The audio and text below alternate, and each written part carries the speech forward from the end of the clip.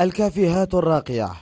مشاريع جديدة بدأت في الانتشار بمدينة المكلا. عبد الله العبثاني واحد من الشباب الذين خاضوا غمار هذه التجربة. فأسس بدعم من والده هذا المحل الراقي 55 كافي.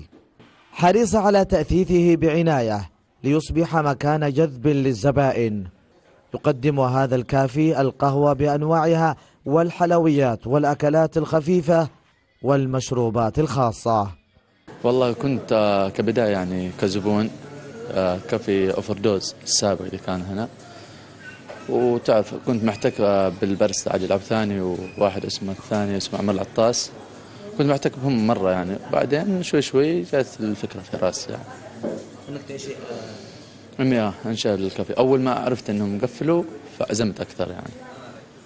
عندنا أيضا في مشروبات خاصة فينا مش موجودة في أي كافي. عندنا أيضا البيتزا عندنا الباستا وعندنا خدمة الإنترنت متوفرة يعني تقريبا في أغلب الكافيهات. هنا أيضا كافي آخر لصاحبه عبد الله بن سويدان. مزج بين الماضي والحاضر في اختيار الديكور الخاص بمحله. وفر جلسات راقية لزبائنه إلى جانب شاشة كبيرة لمتابعة ما يهواه الزبائن. كالمباريات والأفلام الوثائقية ويقدم خدمات المشروبات الحارة والباردة والحلويات. أنا جيت من برا أصلا ما ما كنت عايش هنا. سافرنا برا وشفنا عرفنا الطرق. حاولنا أننا نعمل في اليمن هنا بحيث أنه يواكب الدول الثانية. يكون في نفس المستوى في نفس الشكل الهيبة كل هذا شفناه برا جينا حاولنا أن نطبق هنا فيه قد ما نقدر وباللي نقدر عليه.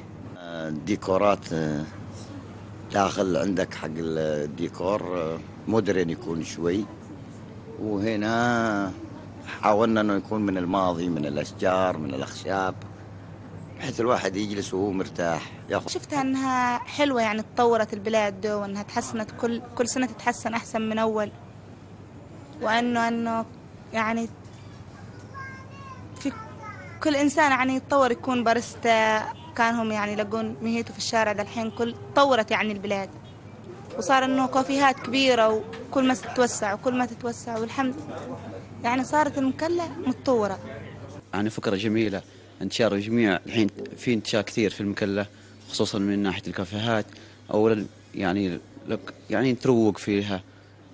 يعني وتشرب حاجات حلوة مثل تعد الكافيهات بشكلها الراقي ملاذا مثاليا للشباب والعائلات للاستمتاع بأوقاتهم وتساعد على الاسترخاء كما توفر فرص عمل لأعداد كبيرة من الشباب. أحسن بالبحيث قناة الغد المشرق المكلا.